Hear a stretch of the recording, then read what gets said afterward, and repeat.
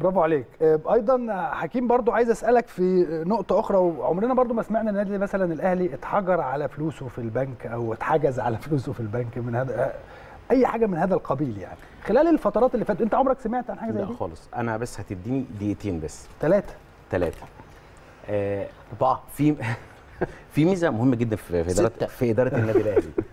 ميزة مهمة جدا في إدارة النادي الأهلي. القضية. كل إدارة بتيجي بتشتغل على مجموعة من المشروعات.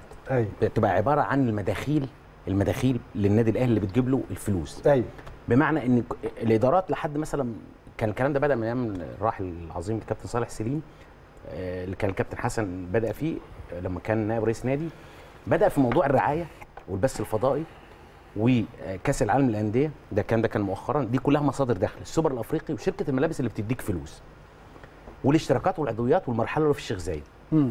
انت كمجلس إدارة لما جيت عشان الناس برضو بتبص بتحاسب مجلس مجالس الإدارات مش شرط المجلس ده على إنجازاته ككورة إنجازاته كإنشاءات. لا مهم جدا في النادي الأهلي إنه بيحاسبوا بعض على حاجة مهمة جدا ما حدش واخد باله منها. ان أيوة. هو إيه هي المشروعات اللي أنت ضفتها عشان تجيب لي فلوس ما أنا مش عايز أقف عند برافو عليك. البث. الفضائي.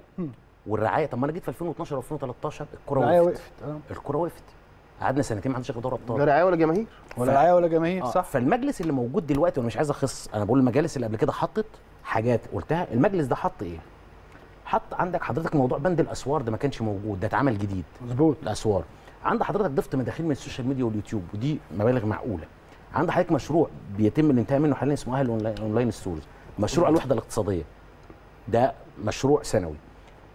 ووفر على النادي الأهلي فلوس كان بيدفعها إيجارات في ملاعب زي استاد السلم أنت بتلعب عليه أرض بتلعب عليه ملعبك دلوقتي. وفر عليك مداخيل عضويات وبالتبعيه إعلانات لفرع جديد اللي هو التجمع الخامس اللي هيفتتح إن شاء الله المرحلة الأولى منه في شهر نوفمبر. أربع مشاريع داخلية جوه مقر عندك مدينة نصر. من ضمنها الجراج من ضمنها مجموعة ال- ال- ال- الحاجات المشروعات ال- الداخلية. حاجات تانية زي مجمع بنوك في الشيخ زايد. دي مزايدة اتعملت لثلاث بنوك وطنية عملوا مجمع بنوك في الشيخ زايد. دول بيجيبوا دخل سنوي المزايدة أو العقد اللي اتعمل 10 سنين بيجيبوا دخل سنوي ثابت. ضفت عندك مرحلة تانية في الشيخ زايد وده هيتباعها إعلانات داخلية. ضف وخارجية في نفس الوقت وهتتحط في كراسة الشروط والرعاية اللي جايين وهتشوف ردود فعلهم في الإنكم بتاع الرعاية هيبقى الرقم أكبر. ضفت عندك ال- الوضع وضع حجر أساس لمدينة رياضية في الشيخ زايد. زايد اللي هيكون أيوة. من ضمنها استاد النادي والمتحف. دي هتبقى بعد أربع سنين هتعمل مداخيل تانية. أنا بتكلم على مداخيل مستقبلية. طيب المجلس اللي موجود ده وقف الحل لحد كده عملت مداخيل في الفترة دي. أنا لا. وبالتالي معلش وبالتالي أنت في الفترة اللي كان فيها الناس كلها مزنوقة أنت الدنيا الحمد لله مزنوق بتشتغل- طبعا بس ماشي. أنت بتشتغل بتاع عملت مشاريع جابت لك انكم طب أنت واقف دورك حد لا ما أنا لازم أعمل خطط للي جاي بعدي. ما إحنا هو إيه الفكرة إن الاهلي إدارات متعاقبة. إن المجلس ده بيكمل الوقت هو جزء منه أعضاء موجود مش موجود هو حط أفكار ومشروعات. محل دراسة حاليا زي مثلا ال- المرحلة الثانية من التجمع الخامس. هيبدأ فيها مباشرة بعد افتتاح المرحلة الأولى.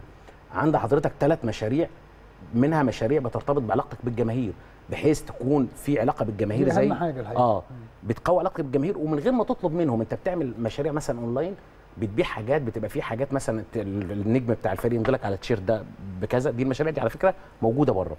في عند حضرتك زي علامة نادي القرن اللي بيتم حاليا الموضوع بتاعها هيتم تسويقها. زي علامة النجمة العشره زي عندك مشروع أربع أكاديميات داخل أفريقيا ده بشكل مبدئي. وبيتولى الملف ده الأستاذ محمد الجرحي ومعاه الكابتن شطة بما له من خبرات في مشاريع كتيرة جدا محطوطة دلوقتي للمجالس اللي جاية. ما هو ده الفارق إن بيجيب لك إزاي تضيف إنك تجيب مداخيل فلوس. عشان كده حتى لو في أزمة هتلاقي الأمور ماشية بشكل كويس جدا وسلس حتى لو بدليل الأهلي لما حصلت أزمة كورونا ما خفضش جنيه واحد. الحقيقة من ده وكان قرار. تاريخي قرار مجلس إدارة تاريخي. خالص. فده الادارات المتعاقبه بتكمل على بعض وكل اداره بتيجي بتسلم اللي بعضها مشاريع شغاله وبتجيب انكم وبالعكس افكار تانية واللي بعده بيكمل. سواء المجلس ده موجود أو بعده كله هيكمل على بعض كده خدت 11 دقيقة. كده خدت 15 دقيقة. ماشي مع إني معيش ساعة يعني بس لا بس كلام الحقيقة محترم وهو تفصيل للك... لكل الكلام اللي إحنا ده التطبيق بنقوله الحرفي لكلمة الأهلي فوق الجميع. بالظبط كده. حرفي تطبيق آه. حرفي. هو مش فارق هو مين ال- شرحه. بالظبط هو شرحه ب- بالأرقام وبالمشاريع وبكل حاجة.